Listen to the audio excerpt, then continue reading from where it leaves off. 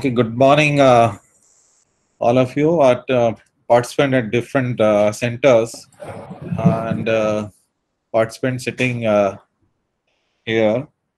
So uh, I'll be talking today on the design of displays and design of controls and uh, then panels. And if time permits, then I may take some few case study also. Okay. Now, when we talk of design of display, the first thing comes what is in fact the purpose of the display. Okay. So the purpose of uh, display is to transmit information from machine to user in a manner appropriate to the system and task requirements. Okay. Now this uh, is quite a general uh, definition of a display where we are saying to transmit information from machine it may be a machine here doesn't mean a very big machine. It may be a product also. To a user in a manner appropriate to the system and task requirement. Okay so it's a quite a general definition of uh, uh, which let down the purpose of the display. Okay now usually uh, what we say a good display is one which allows the best combination of speed accuracy and sensitivity. Okay now here, when we say that good display is one which allows the best definition, best combination of speed, accuracy, and sensitivity, it doesn't mean that it should have a very high speed or it should be very accurate or it should be very sensitive. Okay. Now this let down that you can just see it's a best combination of speed. Somewhere we may be needing a very high speed, somewhere we may not be needing uh, uh that much accuracy or uh. Like suppose uh, now when we are uh, driving a car, when we are driving a car, okay, and uh, the first thing which we are looking at in front of us is a speedometer, which is telling us the, what is the speed. So when we look at that speedometer while driving, in that case, it's the speed with which the information travels from the speedometer to the driver is important rather than the accuracy and sensitivity. Okay, so it depends upon the display for which it is intended, and uh, that's why it is said that it, a good display is one which allows the best combination of speed, accuracy, and sensitivity. The other example, when we are doing some experiment uh, in a lab, okay, suppose we are measuring some uh, parameter using some instrument okay? There the speed is not important. There the in fact the accuracy and sensitivity of the instrument is very important because there we have sufficient time to measure that parameters and we are more interested at that time in the accuracy and sensitivity. So good display is one which allows the best combination of speed accuracy and sensitivity. Okay. Now just example, for example, these two displays are shown. Okay. Now this is a display where of a speedometer which is indicating the speed of a vehicle while traveling. And here we only wanted to just get a glimpse while uh, driving, just get a glimpse of uh, the information that between what range we are driving. Okay. Now this is a display board while suppose you are driving and you happen to see this display board just at the side of the road. And you can just see that uh, when we are driving at such a high speed, so much information, we are not able to read it and we are not able to interpret, in fact, what they wanted to convey. So this is uh, not a good design of a display board. Okay. Now, when we talk about, in fact, just uh, we have talked about what is the purpose and uh, a good display. Now, what are the design criteria? In fact, there are two distinct design criteria for uh, a display the first one is the detection okay? And the second one is recognition third one is the understanding okay? Now when we talk about the detection okay it means whenever display is there a visual display must be visible and an auditory display must be audible okay? These are the first criteria okay? We know that of course a display is there and uh, it should be visible. If it's an audible display it should be audible to a user.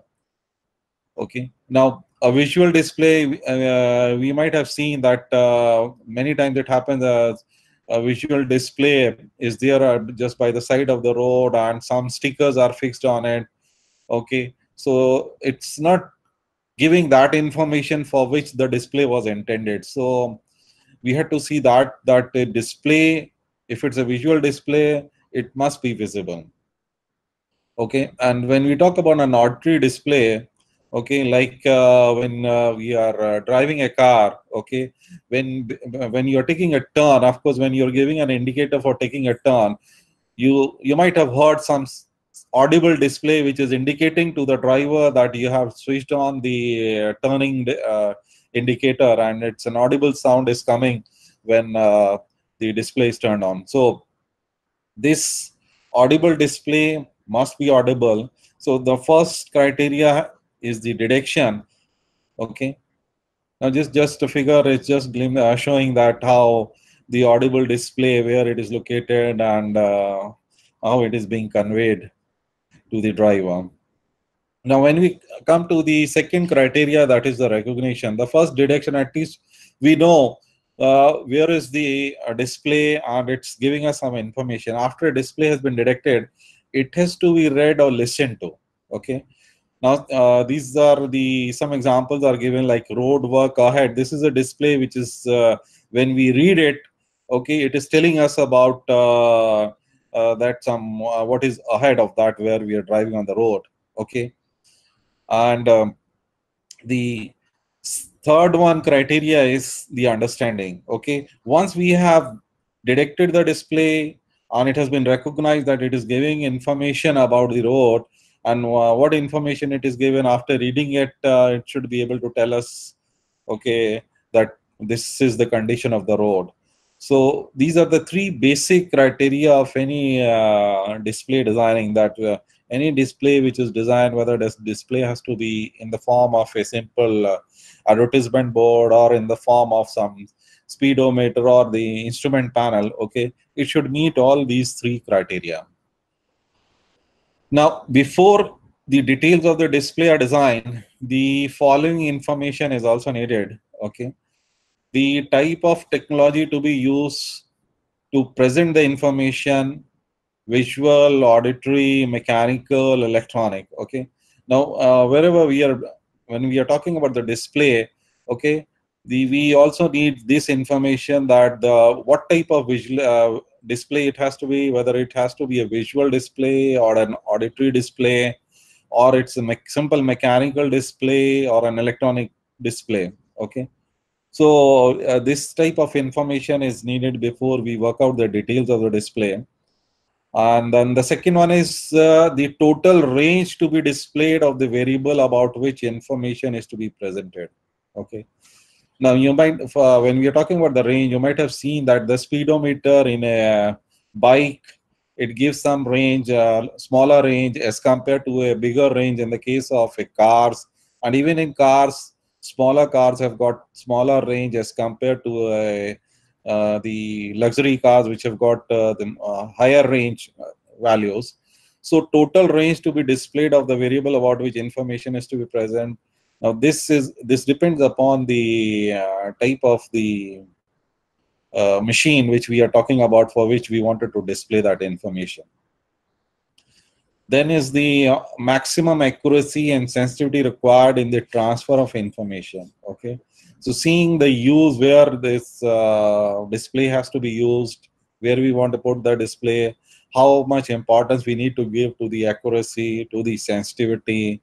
Okay, uh, about the information which we need to transfer to the user. So that is also important, which is needed because that again decides the uh, constructional detail of the display.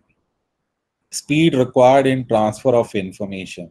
Okay, very important uh, because I usually uh, give an example to this uh, student that uh, you know when we talk about the display and when you are sitting in a class, okay, and you wanted to just see that uh, how long the teacher will take to complete the class or how much time is left before sir leaves the class.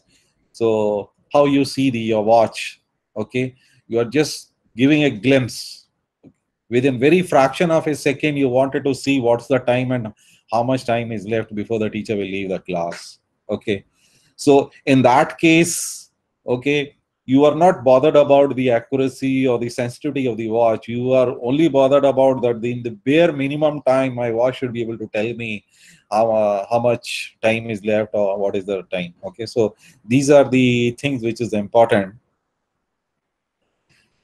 Then the maximum equipment error of the unit about which information is to be transmitted. So how much error, because this is again uh, related to the accuracy uh, of the instrument. So how much error we can, it can be permitted because we need to meet the accuracy and sensitivity requirement of the instrument. Normal and the maximum distance between the display and the users of the display.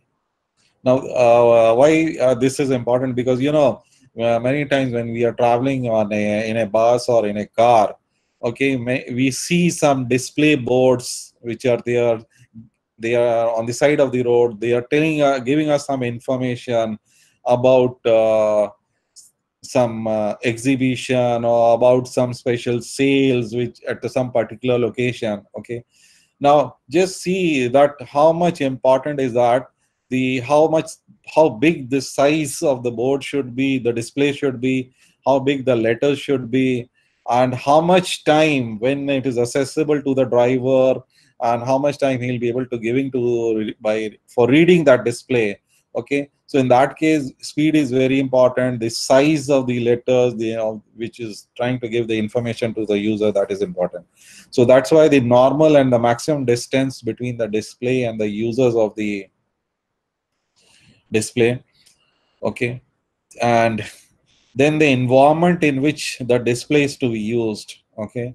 Now uh, we have to see that environment in which the display it's talking illumination, noise, etc. So if it has to be used during daytime, or it has to be used exclusively during the night time, or it is used, uh, you know, uh, why it is noise, I'm uh, giving an example. Many times, you know, it happens that when we are sitting in some diesel-driven vehicle, it's an old vehicle which is making a lot of uh, sound. The engine is making a lot of noise. And then what happens when if it's an audible display is there, and which tries to give you some information. So behind this noise of the engine, you won't be able to hear that audible sound of the display. So that's why it is saying that environment in which the display is to be used, we need to know that. Okay. Now coming to the types of display, there are in fact many, uh, if you see broadly, the displays are classified as qualitative, quantitative, and representational. Okay. So the first one is uh, qualitative. Okay. Now these are suitable when the user needs to distinguish a small number of different conditions. Okay.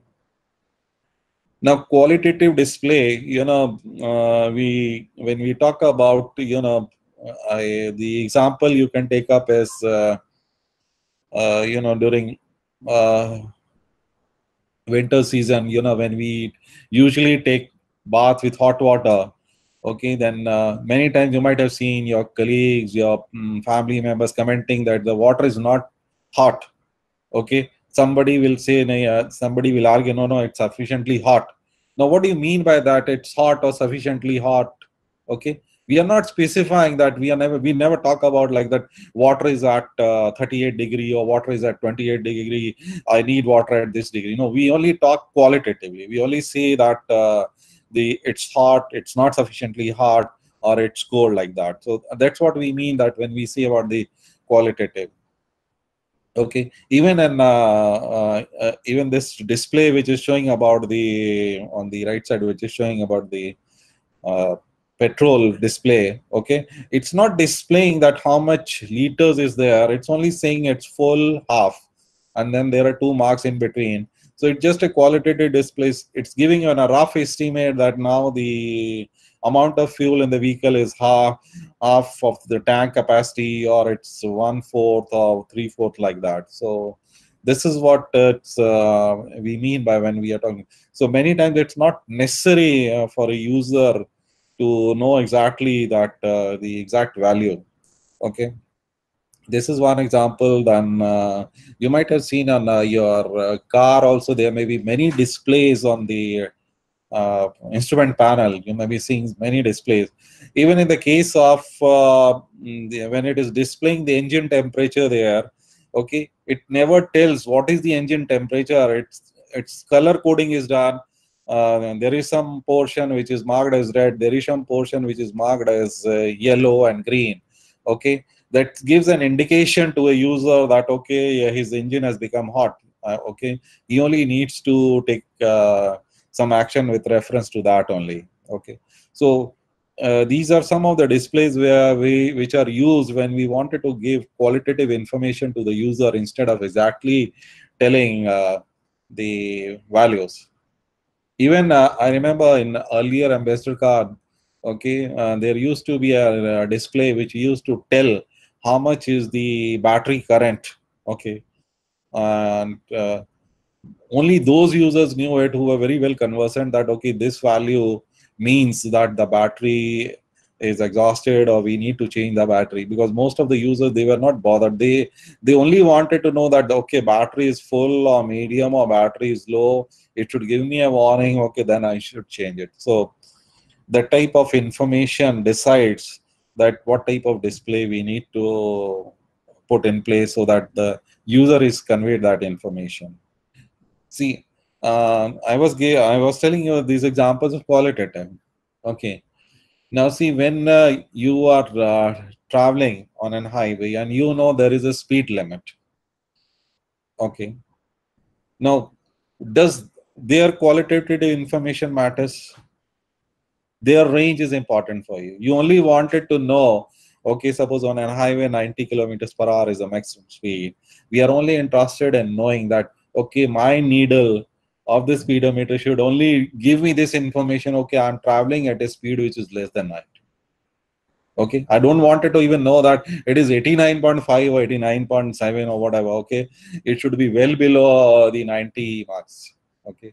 There we need that type of information okay. And suppose i wanted to measure the your when suppose you are sick okay I, I wanted to know your body temperature okay. Their qualitative will not help me okay? Because there we wireless talks okay he has got 104 degree temperature. Everybody understand that okay 101 102 104 is very means he needs uh, uh, attention from the doctor okay? So uh, that's what conveys some meaning where you know we had to see the type of user where we are trying to convey this information. And based on that we decide okay uh, you know, when we talk about a thermometer, we are not interested in knowing what is the temperature, uh, lower temperature. Okay, the moment when it when it goes 98.7 and above, we are very much interested. We even we say 99 uh, temperature. Okay, but we never talk about 97.8 because that is immaterial for us. Ki, uh, we don't need that temperature. Okay, that's why you might have seen in thermometers that particular range is there and we use that range. So the main requirement, if you see the design recommendation in this case, the main requirement is that the indicators for each of the conditions should be as distinct as possible. Okay. Even uh, when you have talked about Ramkumar, uh, one example is coming. If you see the older air conditioners, okay, there you won't see any uh, temperatures indicating any there is a knob. You are just uh, turning the knob in the clockwise direction indicating that more cooling effect is there or turning it anti-clockwise less cooling effect is there. Okay? Now that concept has changed. People have become very well conversant with that. No. Okay the 24 degree temperature 25 degree they talk about make the ac work at uh, 25 degree temperature or 24 degree temperature okay? So people have in fact recently uh, uh, the government in uh, delhi also they came up with uh, that that all acs whichever install will work only at 24 degree. Below that it will not work okay? So now i don't know when we pass such type about how it will be executed who all are monitoring? It's not an online temperature which is going somewhere and is being monitored. Okay that was just a recommendation okay. So qualitative display the main requirement is that the indicators for each of the conditions should be as distinct as possible. Okay. So this is the only recommendation in this case. Now when we come to the quantitative one these are essential where the user acquires numerical information from the system. Okay. So the left side indicates the temperature as displayed on the air conditioner and the right side one is a speedometer where we are not bothered about the accuracy but we are more interested in the the needle of the speedometer working in some specific range when we are driving. Okay. Now quantitative displays again these are of two types the analog indicators and digital indicators. Okay. Now, I hope uh, analog indicators and digital indicators are clear because uh, I uh, we know that we this uh, there uh, there was a craze uh, earlier when the digital watches came into market. Okay, people were after the digital watches. Earlier days, we used to have analog watches only. Now you have a choice. You can have an analog or you can have a digital. But the one question I usually ask my student, which watch you favor? okay many times students say sir digital watch is very good it's very accurate okay and you can see exactly what exactly is the time i say no when you're sitting in my car, class you don't need a digital watch you need an analog watch okay because i don't permit you to see the watch okay and the moment when i turns toward the board for writing in that only time you will like to see a watch okay so analog watches conveys qualitative information also. Okay. For quick check reading, rate and direction of change are shown much better. Okay. Useful when the states of number of displays are to be shown together. Okay. Now, the, uh, when we talk about uh, the first one conveys qualitative information. Okay. Now, this qualitative information you know if it's conveying uh, the exact value also if you are not interested in exact value you can have the qualitative information um, can uh, you know uh, in the case of uh, two wheelers you might have seen that on the the speedometer there is some range which is indicated by green pattern. A green strip is there on the speedometer. Okay? That indicates that uh, uh, it's not indicating any speed, but it's showing that that when you're driving at that particular range, between that range, the fuel consumption is the minimum, and it's giving you the maximum horsepower, and it is designed for that. The moment you uh, are driving below that or higher that, it's consuming more fuel. Okay, so that's what. Though no doubt it's a analog uh, indicator or quantitative one, but that portion still forms the quality it's trying to give you a qualitative information okay for quick check reading that's what i said that when you want to just see the time uh, how much minute is left okay where we are not interested in knowing what is the time but how much minute is left. Again that qualitative information you can get from the watch. Okay. Useful when the states of a number of displays are to be shown together. Now uh, why this is important? In this case uh, happens to be there in the control rooms. Okay. Where there are so many even uh, uh, the example i don't know how many people have seen the cockpit of the pilot there are so many displays and controls. Even overhead displays are there in front of displays there okay? And you know the positioning or zero of the display is very important in this case and uh, the analog displays is better because uh, he's pilot is sitting here he's watching number of displays some are at different angles some are at acute angle.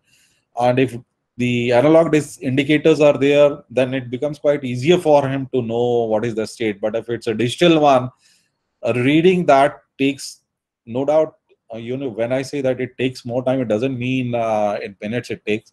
It's in fraction of seconds reading a uh, digital display takes uh, more time as compared to the analog one digital indicators now these are good for precise reading yeah, particularly when we are interested in uh, the precise reading where we are talking about the accuracy and the sensitivity. And when we want to do some experimentation there we talk about the precise reading okay? And the design recommendations scale should be very legible. Multi-scales or non-linear scale should be avoided okay now, uh, scale should be very legible. Of course, uh, we say that uh, these whatever scales we have provided for that quantitative display, one should be able to read that against the background of the display panel. Now, the other one is multi multiple scales. Okay, usually you might have seen this multiple scales or nonlinear scales. These are with the electricians. Usually they carry multimeters, as the name is suggests, multimeters, where they they use the knob and for they set the different range and different parameters. They measure it. Okay, so it needs slightly more skill to learn that uh, instrument for using it. That's why it is always prescribed that multiple scales or nonlinear scales should be avoided. Design recommendations for the analog displays. scale should be designed according to familiar conventions so that numbering increases in a clockwise direction on a circular scale. Now, these are the, some of the conventions which every user is used to it. Okay, it doesn't mean that uh, I can't design a uh, display, okay, in which the number increases in an anti-clockwise direction. Okay, you can design a display in the reverse order also, but remember, when a mind is fatigued, when a mind of a user is fatigued, okay, then it works in a convention, standard convention, which he is used to it. Okay, so that's why you know I usually give examples to my student that nowadays you might have seen uh, many vehicles on the road uh, like which are designed by germans which are designed by japanese okay and their indicators and uh, wiper system are placed in a different way okay if a person is used to an uh, japanese car and if he drives a german car okay he knows that uh, whereas in the japanese car the indicators are on the right side of the steering wheel and in the case of German cars, it's on the left side. Okay, so till the time you are very conscious and you're driving, okay, the moment uh, you are slightly fatigued, okay, or you are, your attention is somewhere else, okay, that's why you might have seen, observed that while driving some people on a very hot day, okay, you find the wiper working. Okay, he wanted to give an indicator by, but by mistake he has given an indicator uh, rather a wiper, switched on the wiper, okay, just because he was he might be driving a different vehicle which he is used to.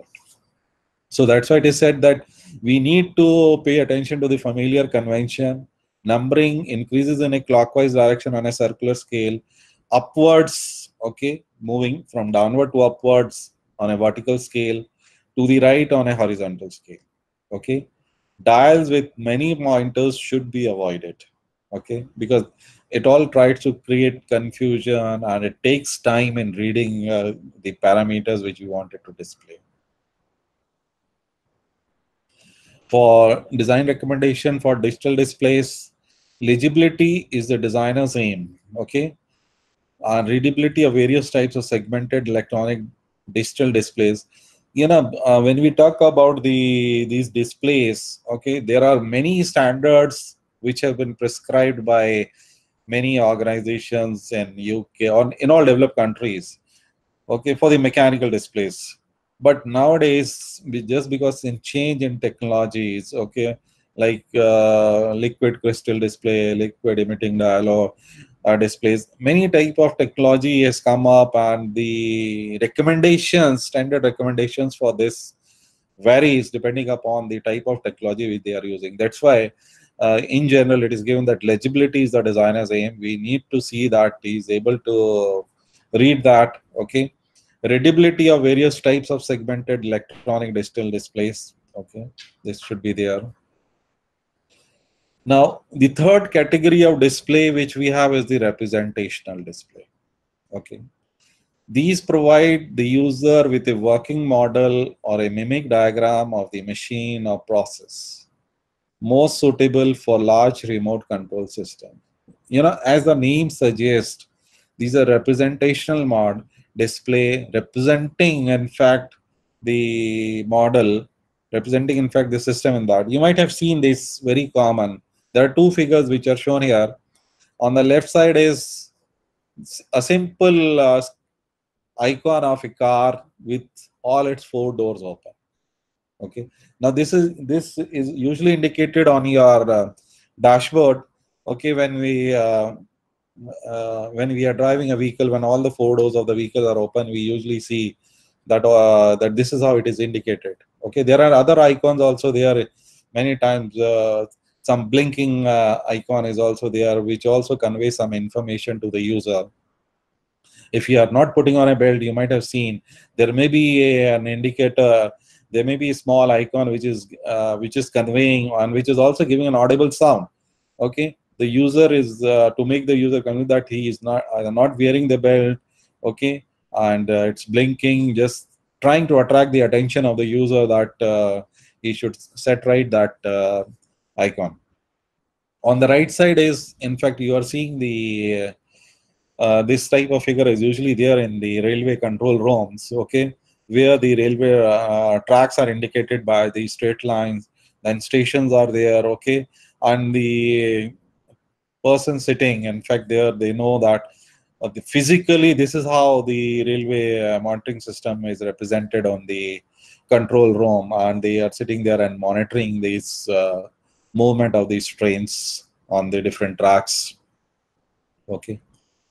So for these, the design recommendations are make the display as simple in its logical scheme as possible, representation of critical components and not a complete simulation. Okay. Now, you, uh, why this is a representation of critical components, not as complete simulation. Okay. Now you might have seen just here that the four doors, okay, are just simply represented by a straight line, and how the car may doesn't look like as a rectangular car, but just a simple representation is shown, okay, to indicate that. So representation of critical components and not a complete simulation. That is the aim here in the case of representational displays. Okay.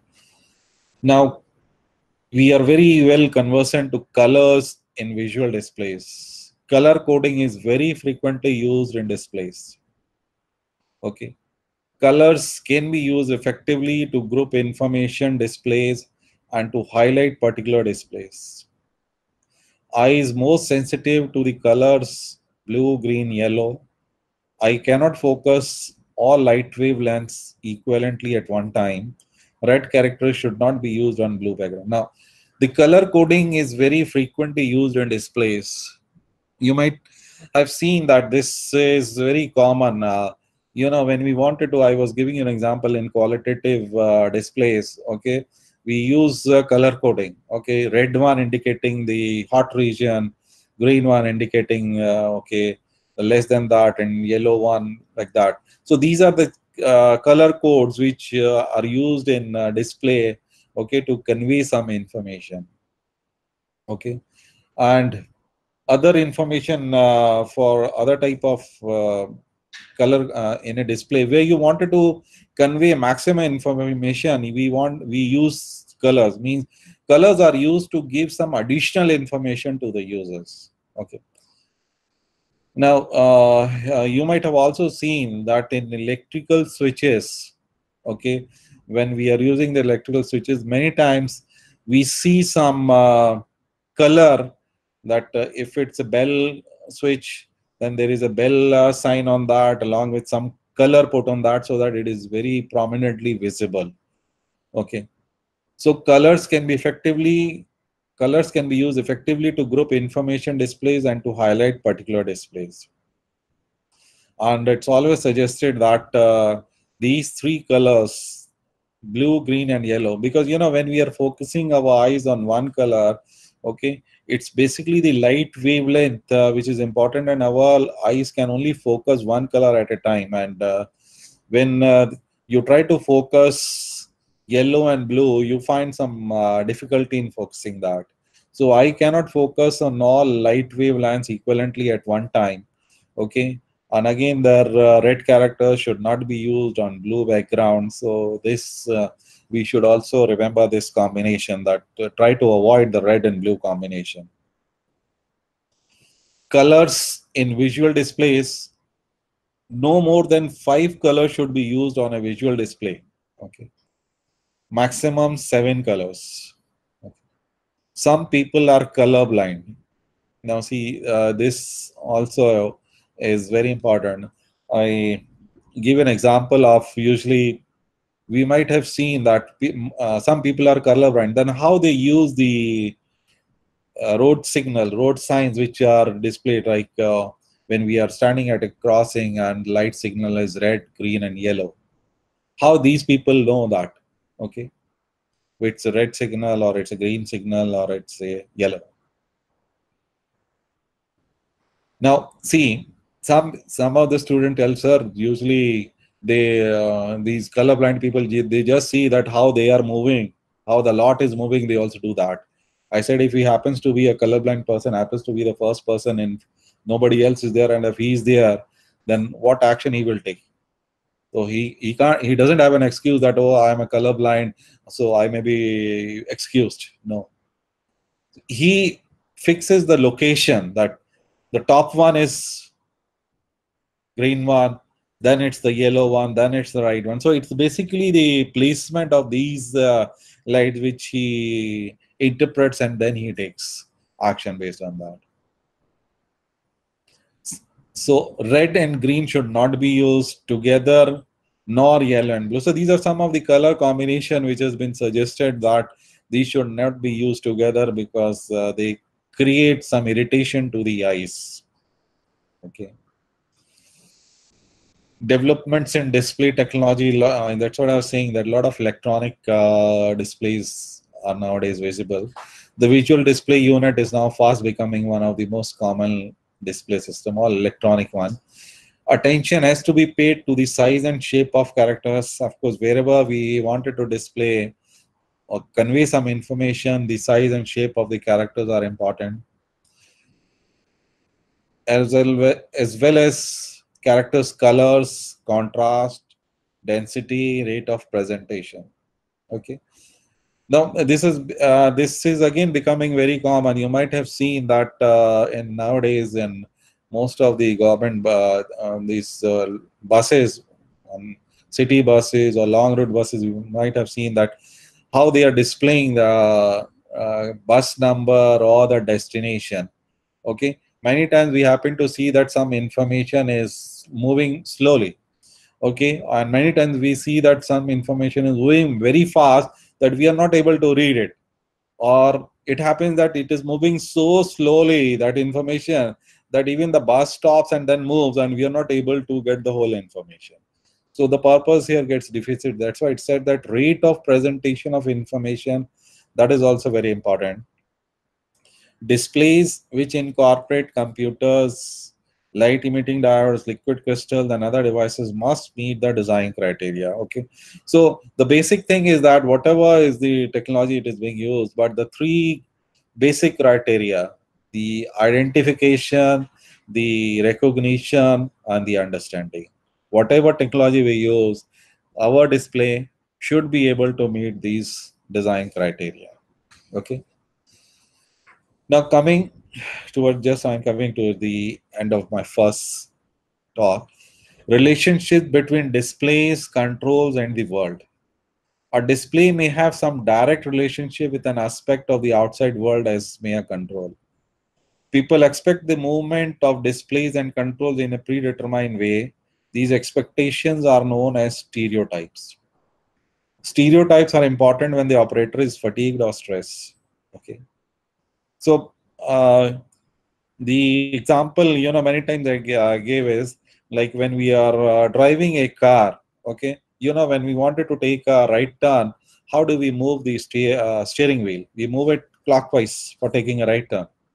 But nobody stops you for making a steering in such a way designing and putting a steering in such a way that when you want to take a right turn okay you should move your steering wheel in an anti-clockwise direction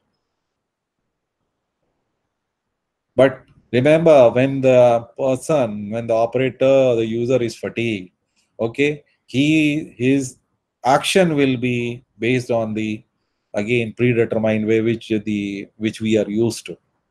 Okay, I I usually give one more example in this case. You might have seen that. Uh, when we have now, of course, the Bajaj scooters, the production has stopped. But earlier, when we have a Bajaj scooters, the brakes people use, were used to the brakes which were placed at their right foot.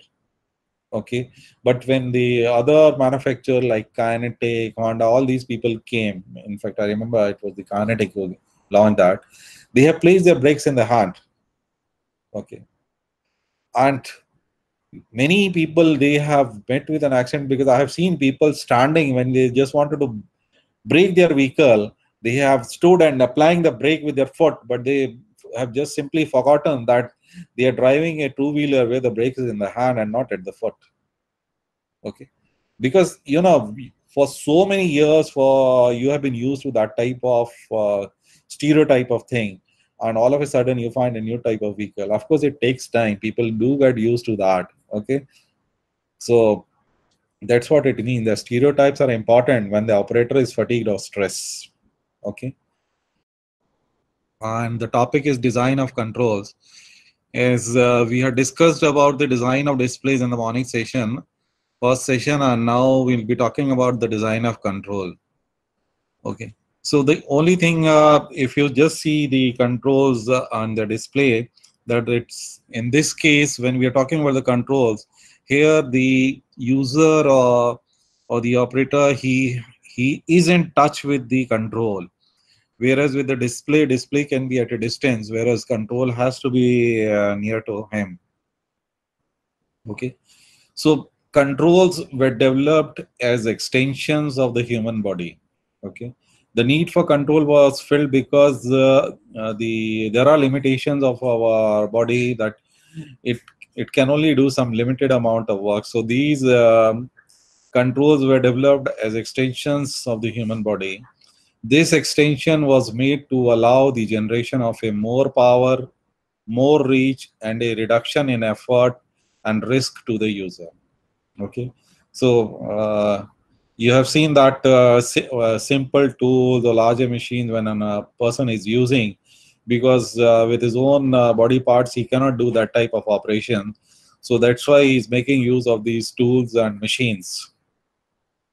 Okay control is no longer the tool itself, but it's an intermediary between the user and the machine. Okay. So nowadays, if you just see that control is not only a simple tool, okay, but uh, it's an intermediary between the user and the machine. Controls must be designed to meet the human capabilities and limitations if the whole unit, user and machine, is to work at a maximum efficiency. So uh, this uh, underlines the importance that controls must be designed to meet the human capabilities and limitations if the whole unit, user, and machine is to work at maximum efficiency. Coming again, uh, like we talk about the criteria in the case of display design. Similarly, here we have the three criteria uh, in the case of control design also. The accessibility, identifiability, and uh, usability. Okay, so these three criteria we need to keep in mind. The first one is the accessibility. Okay. Virtual or uh, virtually all controls require physical contact with the user. Okay. They must be able to be reached comfortably and efficiently. Okay. So the this when we just see that control it needs to be assessed. It, uh, so keeping in view the accessibility, the, which happens to be the first criteria. So all controls needs to be placed in such a way that these are easily accessible to the user. So that's why, you know, uh, we might have seen that in the case of uh, cars, you know, all these uh, brakes, clutch, accelerator, these three controls are there in at the foot of the driver. Okay. The second one is identifiability. Okay control needs explicit identification. Okay identifying the basic function identifying the state of the control. Okay and the second uh, important point in this is coding the controls for above purpose. Shapes colors textures size labels etc or a combination. So first one becomes accessibility once it is accessible then the second case is identifiability we should be able to identify that this is the control okay and we should know for what purpose it is there and for uh, how it has to be used So control needs explicit identification, identifying the basic function, identifying the state of the control. Okay. Now, how basically, you know, when uh, this two points, I just wanted to make it clear. You know, we have electrical switches. Okay. How we know that the electrical switches are in an on position or an off position. Okay. We know that when it is pressed in one direction, it's an on and when it's pressed in the other direction it's an off it has only got two positions okay and we also know that this switch is for particular either a light or a fan or some other uh, equipment okay so identifying the basic function that we should know that uh, this switch is for what purpose and then identifying the state of the that it, it's in on position or an off position. So not only the function of the uh, that control we should know, but the state of the control also we should know that uh, in what state it is. Again, the, uh, the example, you know, I have taken up this example. In fact, this is showing the gear handle of the two-wheeler, okay? How basically we know that whether the this two-wheeler is in gear or it's in neutral position. Just from these two dots which are there, okay, we try to find out the location of these two dots. If they are not in line, then we know that they are uh, the scooter is in neutral position or it's in a gear position. Okay? But many times the student says sir ki iski nahi hai. Okay? You can simply mm, uh, push the scooter forward out and you can find out whether it's in gear or it's in neutral position.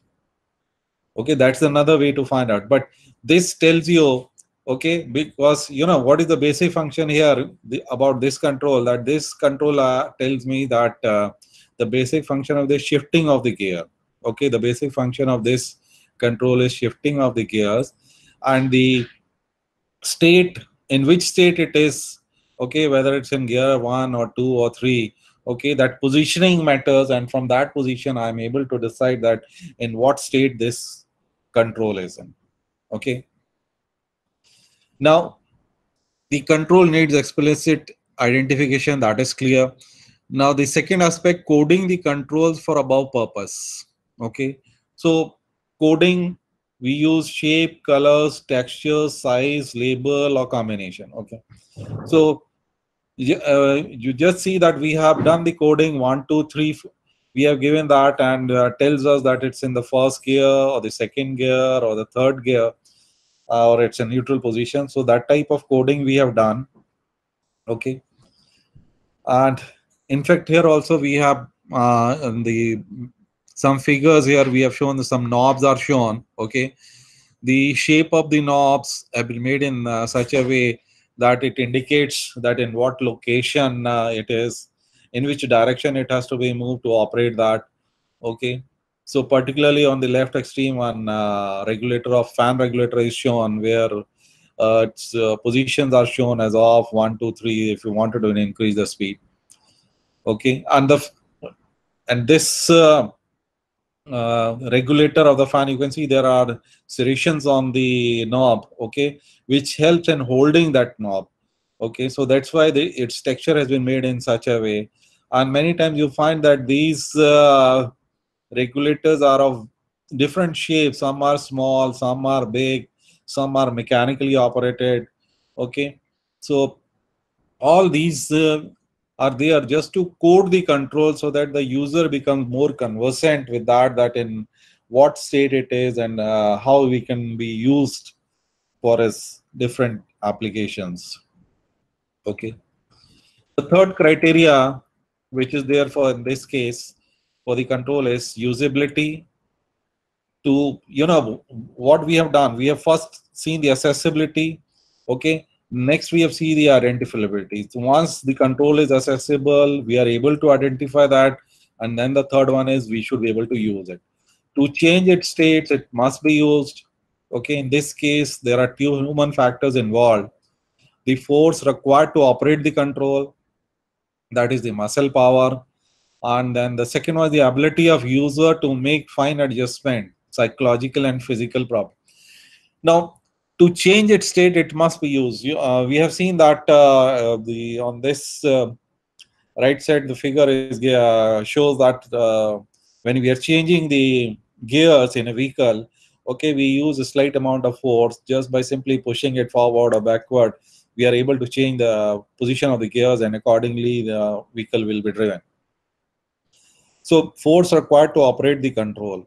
Now, it all depends for what purpose the control we are using it. Okay, so in this case, uh, the first aspect is force required to operate. Second is ability of user to make fine adjustment. Okay, psychological and not physical problem. Now, when we wanted to make a fine adjustments, okay, uh, I'll give you an example uh, that uh, you know when earlier days when there used to be a, a transistor or radio okay there used to be two knobs on the transistor. One was for tuning and the other one was for fine tuning. Okay?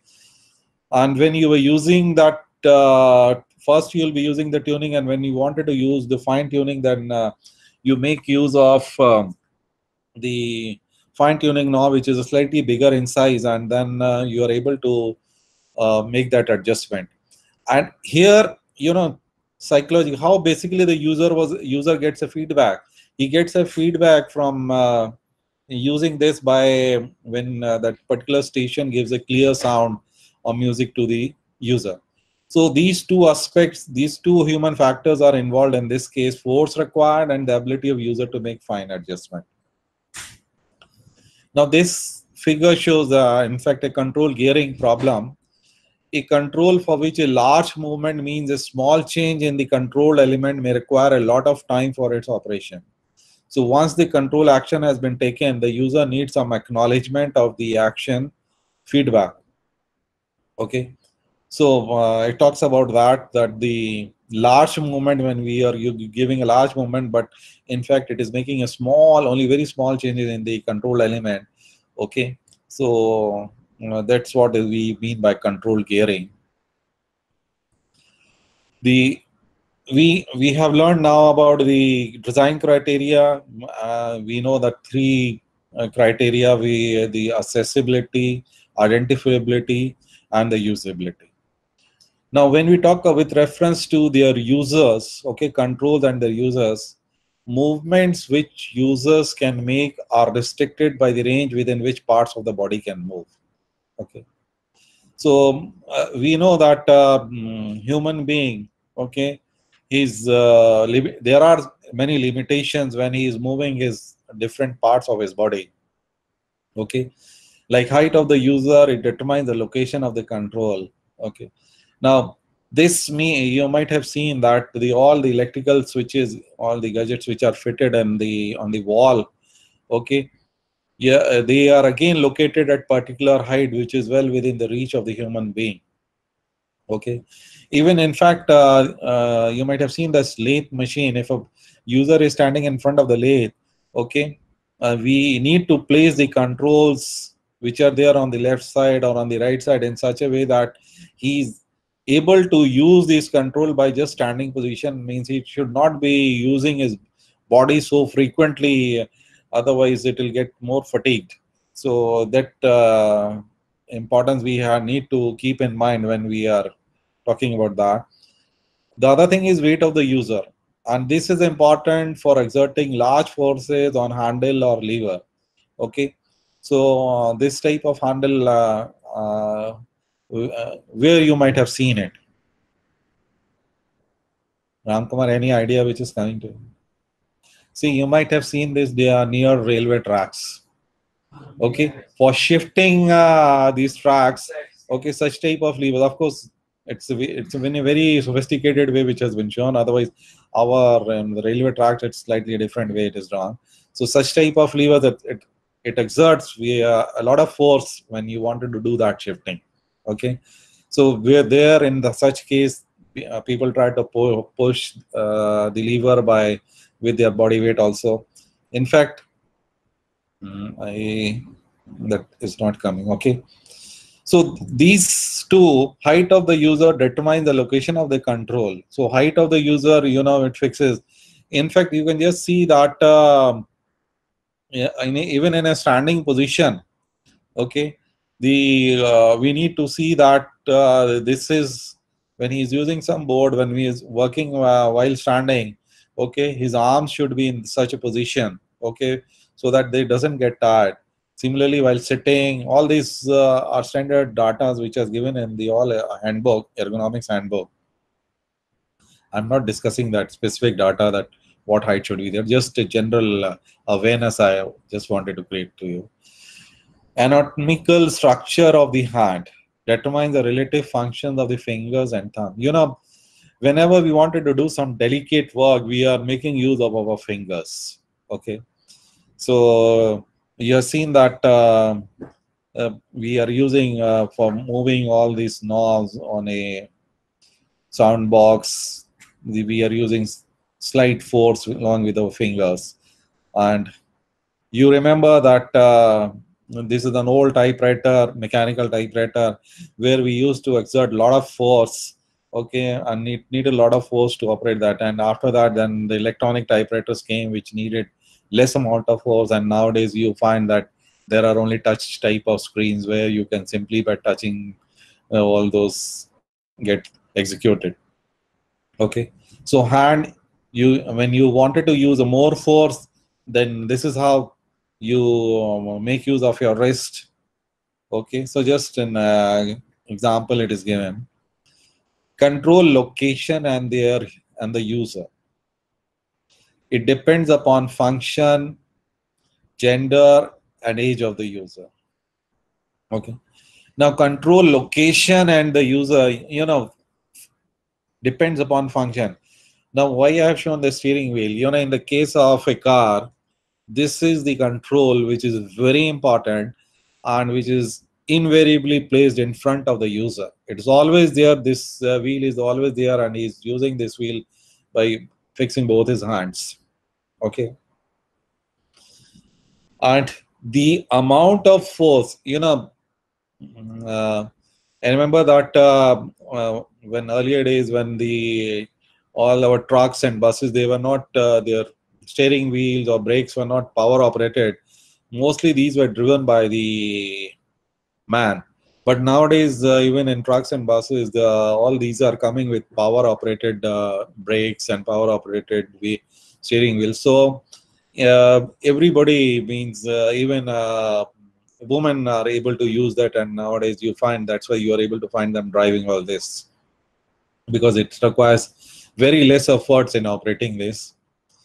Machines intended for use in different countries must be designed with this variation in mind. I, I gave you an example. Uh, I suppose yesterday in the class I was telling you that if the tractors which are manufactured in UK and if it is brought here, we find that majority of the people will not be able to use that tractors. Okay. So machines intended for use in different countries must be designed with this variation in mind. Okay. So uh, we should know the, in fact, when we are talking about this aspect, uh, when our we are sending our product to different uh, countries, we should know the average height, weight, all everything about the probable users, and uh, only then our product will be successful. Otherwise, uh, uh, there will be an economic economics problems, and our product will not be not find acceptability by these users. Placing all controls to the right of the user will handicap the left hand users. So uh, we need to keep in mind also that the control should be uniformly distributed uh, because so that uh, the left hand people are also able to use it.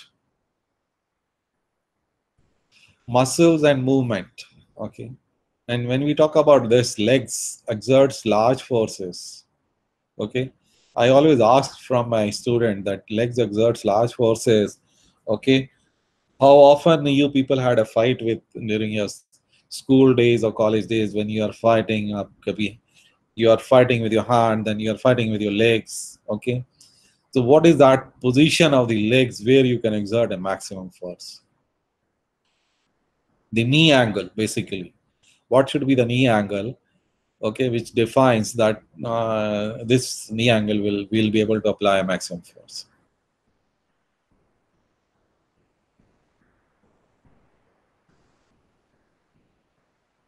कितना होना चाहिए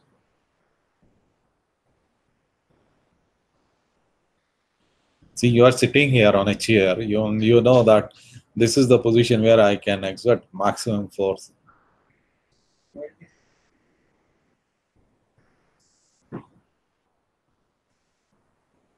Okay, I'll come to that.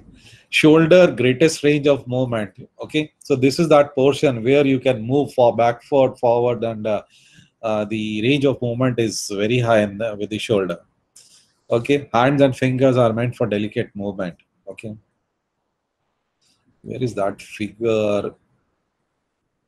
Yeah, in fact, this is that figure. Okay, now just see this figure where you are able to exert the maximum force. Maximum push in Newton is given and what is that angle? Knee angle. It is not 90 degree. Okay. If it is 90, you find that the minimum. Okay. Many times people say, okay, 180 sir, सीधे होके मारेंगे तो ज़्यादा लगेगा so no, it's maximum that knee angle should be 160, where you can apply the maximum force. Okay. Uh, a leg exerts large forces. Okay. Positioning of the legs, I have told you when they are. On shoulder, greatest range of movements, hands and fingers are meant for delicate movement. Posture and some parts of the body are always working even during sleep fatigue from excessive demand to maintain posture okay if your posture is not right you know you will be fatigued very fast and to maintain that posture you know uh, you will be taking some rest shifting your body from one uh, posture to the other. A user can also be steadied by using both arms in opposition to one another. Okay. So fatigue you know posture also results in fatigue and thereby it reduces the productivity of the user. Now remember this uh, figure okay. And here in fact this is just we have shown posture when we are using the smartphone how your neck is turned.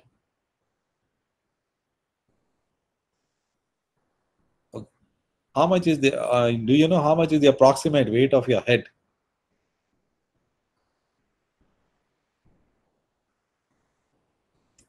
It's around 4 kg and slightly it varies between 4 to 5 kg depending upon the physique of the person and if suppose even if it's 4 kg and you are giving when we are seeing our mobile in this way standing and reading this for 4 kg weight is coming on my true neck on this this spine. spine. Okay, and if continuously this will be there, you know, uh, uh, what will happen in the next generation if if this continues?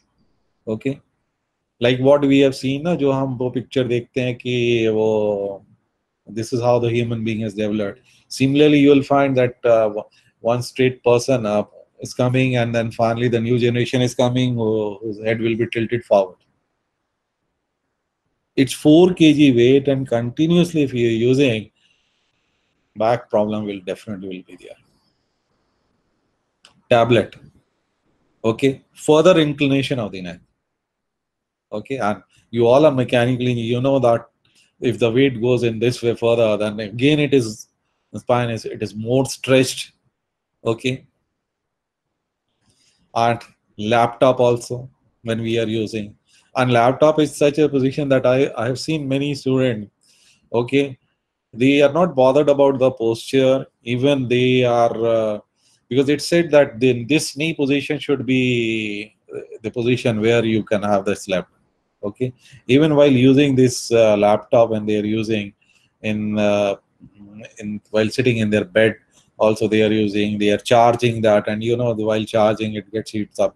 So that's another aspect which comes. But this figure i have specially shown that what should be our posture while using these type of electronic gadgets Controls and their functions. Function of a control determines its location, identification, and design. A force, we are talking about the force. A control should require the application of large force only if used in an emergency or which are used only occasionally or which are operated by hand tools during maintenance. Do you remember any such control which is used in an emergency and we, we require a large amount of force?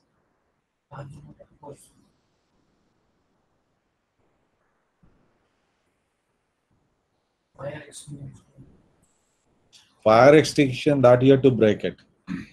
Okay, it is there glass panel you have to break it and it will sound and you can use it but for mechanical people i'm asking at least where you have seen it have you forgotten the instrument panel of a machine? Is this huh? There is an emergency stop red button indicated okay? It doesn't work with a small force. You have to apply a whole uh, good amount of force so that immediately many times it happens our tool breaks or something uh, happens and immediately we push it hard and so that the machine stops. Okay so this i hope this this will show you that that right button which we press it okay and even uh, people are very conversant to pulling chains also that in case of when you're traveling in a train, something happened, you wanted to stop the train, okay. That requires a lot amount of force. Not ordinary person can pull it and stop the train. Okay. Function of a control determine its location and identification and design. Okay. So the emergency control, it's prominently located at one corner of the switchboard okay of the panel uh, and rest of the location it depends because we'll be talking about the design of panels based on the how these controls are located on that. Maximum force over a short period okay? Many times we apply okay a force on some uh, for some application okay the maximum force which a human being can apply is only for a few seconds that is five seconds. Okay? And uh, figure which just we are showing this is a very common figure on the roadside you might have seen. How the people are climbing on that lever jumping on that trying to open that. Because while jumping you know jerk force varies from two to three times of the maximum force depending upon again the physique of a person okay so the maximum force we can apply for a short duration jerk forces are two to three times force over a long period is 15% of maximum force. Do you remember where we are applying a force over a long period? Any example? When you are driving, your foot is there on the accelerator. There is a force. You're applying a force against that accelerator. Okay? So that is what it is talking. Force over a long period it has to be only 15% of maximum force which a human being can apply. Okay? Human strength is also affected by temperature anything coming to your mind humans are also affected by temperature. In winter okay what happens to your body parts? If you wanted to do some physical exercise okay in winter if it's very cold okay the temperature affects the working of your body. That's why many times you say ki, okay warm up ho thoda okay only then i'll uh, be able to work this or i'll be able to do this leg force depends upon the degree to which the knees are bent i gave you that figure that example Limb position in which the operator can apply the maximum force is also the most favorable one. Just see this last uh, comment. limb position in which the operator can apply the maximum force is also the most favorable one.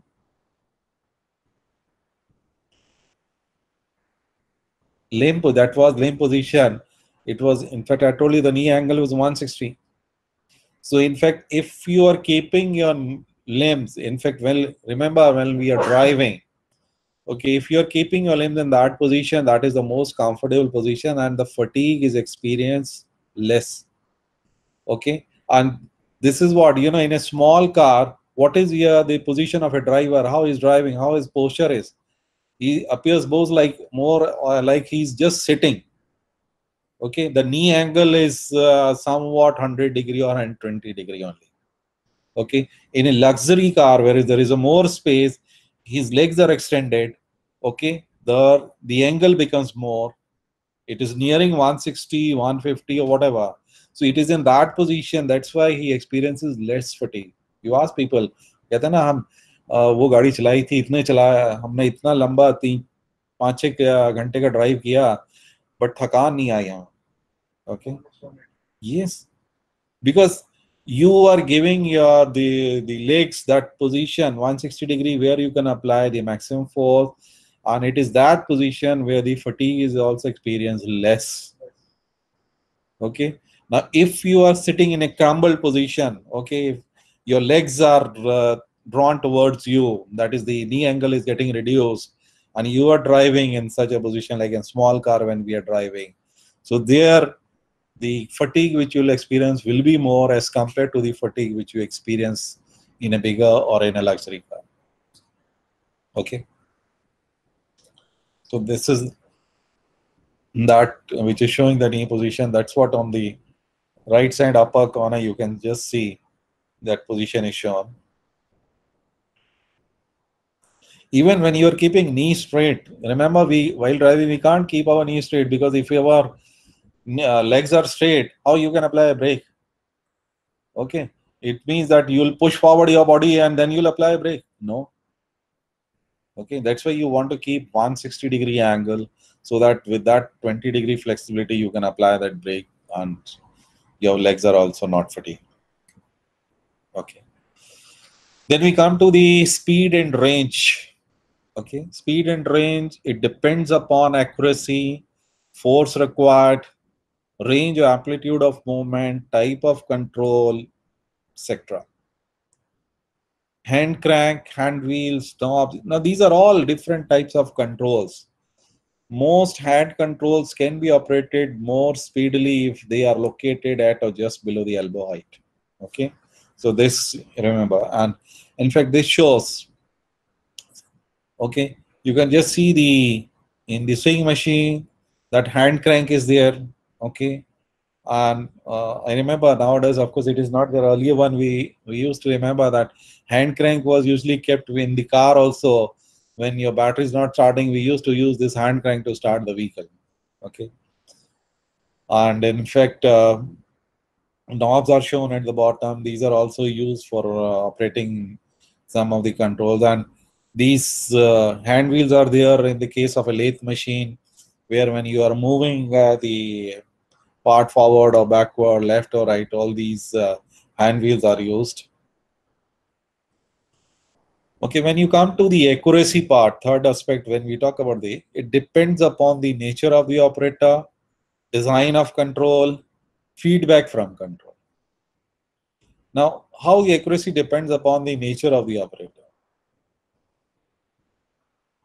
You know it, many times we might we have seen in workshop okay we say that uh, that operator is very well conversant with the machine and he makes the part with very close tolerances okay. So it's basically the skill of the operator okay.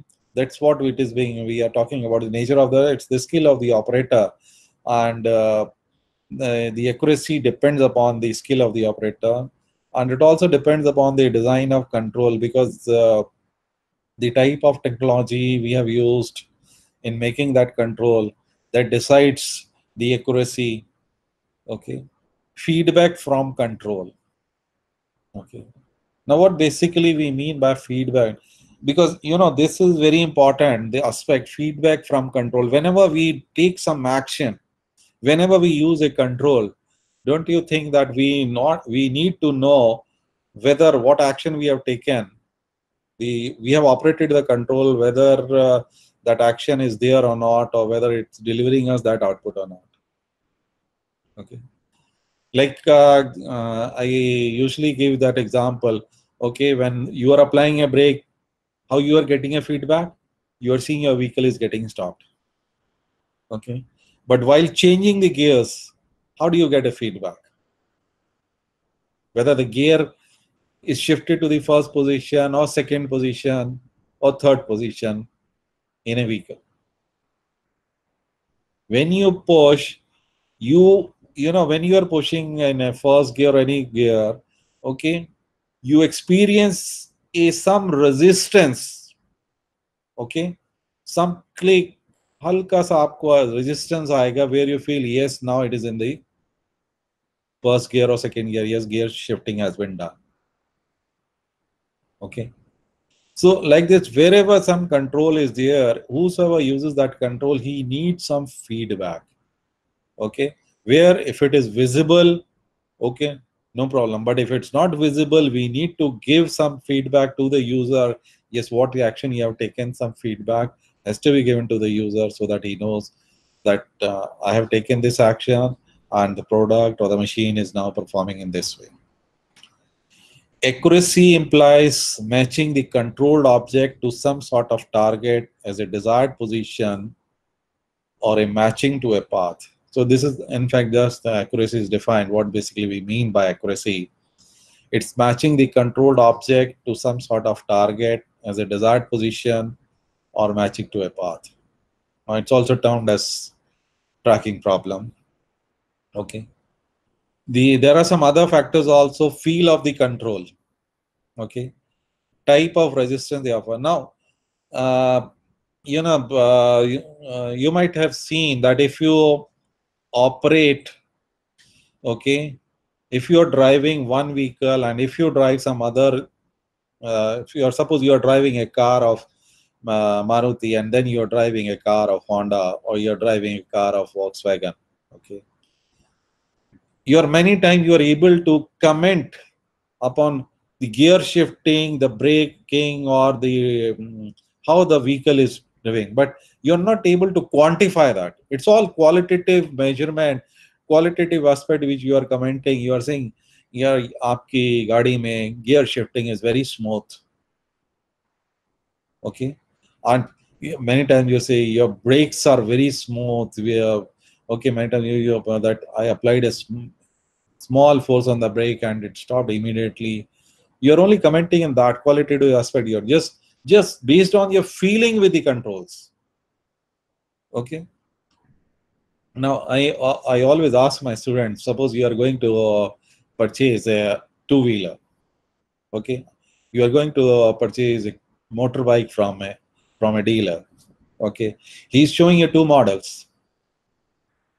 Okay how you will be able to compare okay this one is better or that one is better?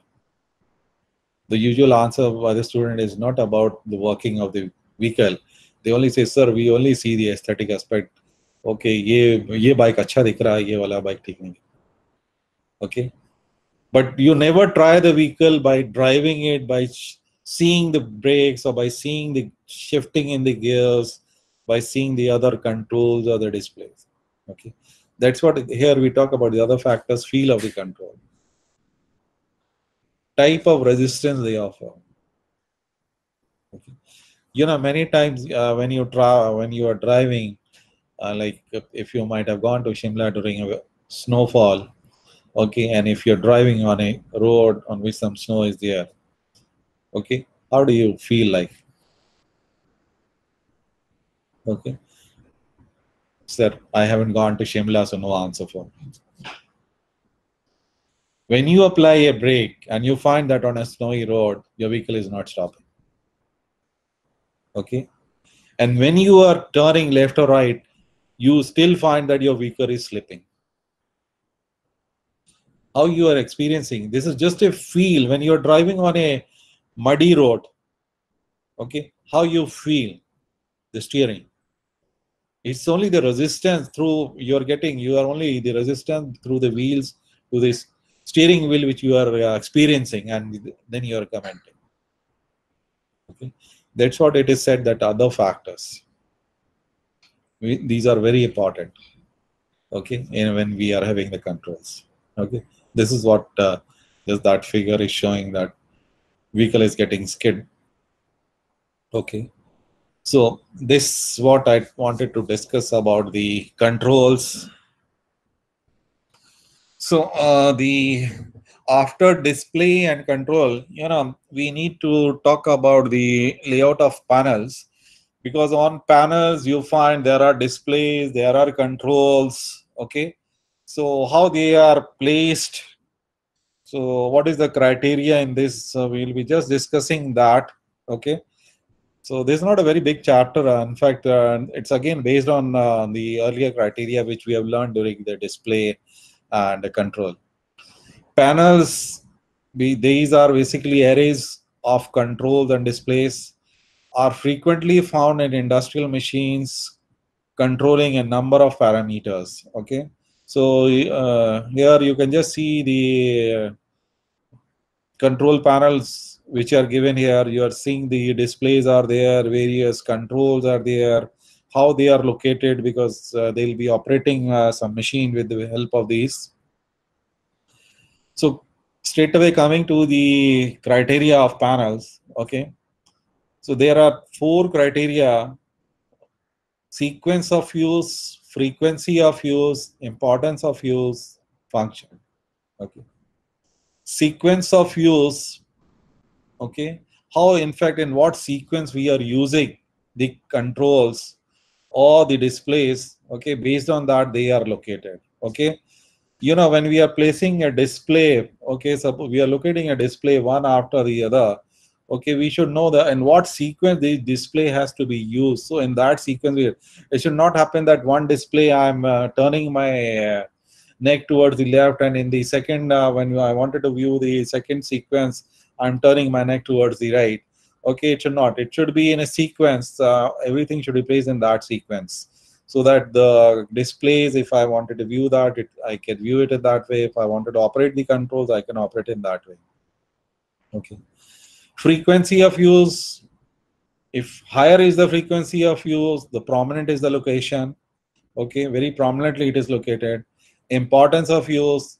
Okay if the control or display is very important it's prominently located now for second and third criteria i just give you an example frequency of use now we come to the control now what control, which control is very important when we are driving a car. When we are driving a car, which control is very important? Or which control is very frequently used?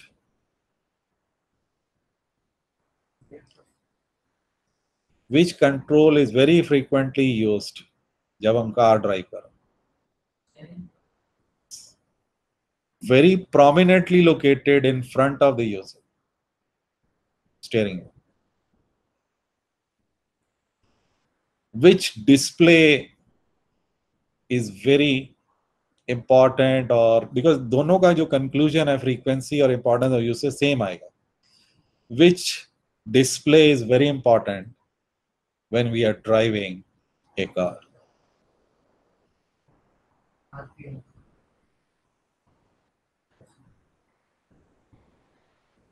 आप गाड़ी drive करते हो steering हाथ में है, कहाँ देखते हो? कभी देखना पड़ता है तो। गाड़ी ड्राइव करते सब कहा Yes, speedometer.